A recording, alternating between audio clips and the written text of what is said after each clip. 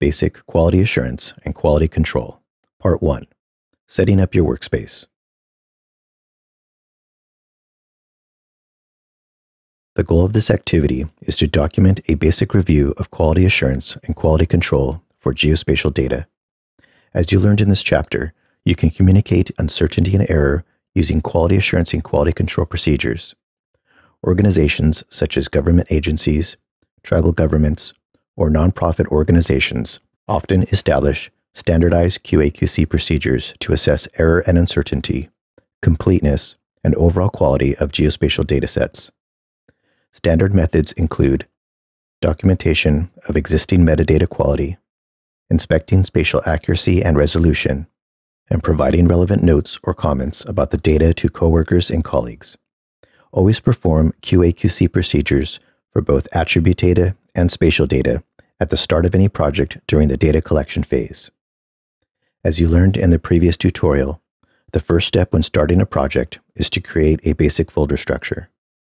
Typically, this will be placed on your local hard drive. On a personal computer, this would be the C drive. If you are in one of the labs at Humboldt State, then it will most likely be the D drive. In this example, I'm using the Downloads folder on my local C drive. I'll start by creating a top-level folder, which should indicate the project.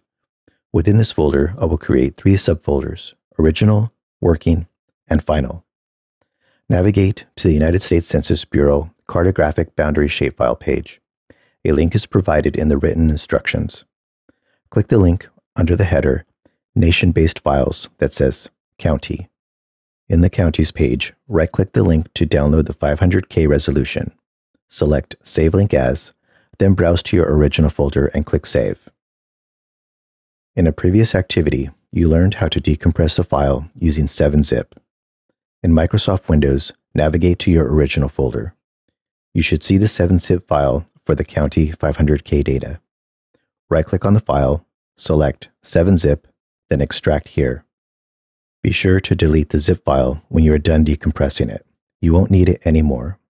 Eliminating the zip file saves space and helps to avoid confusion later. Repeat these steps for the shapefiles called County 5M and County 20M. In ArcMap, open a blank map document. The easiest way to add data is to use the catalog window.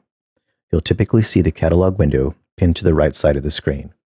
If you don't see it, just click the button with the yellow file cabinet icon. When you first open the catalog window, you may not see the project folder right away. If you don't see it, you can add it using the Connect to Folder button. In this step, it is essential that you select your primary workspace folder to add it to the catalog window. When ready, click OK. Once you add your workspace folder to the catalog window, expand the folder by clicking on the plus sign. You should see your three subfolders inside. Expand the original folder to view the contents. This display of folders and files within the catalog window is sometimes called the catalog tree. Add the three shapefiles to the map document. When done, set the map extent so that it clearly shows the west coast of the United States. In the next video, you will learn how to document the quality of the metadata.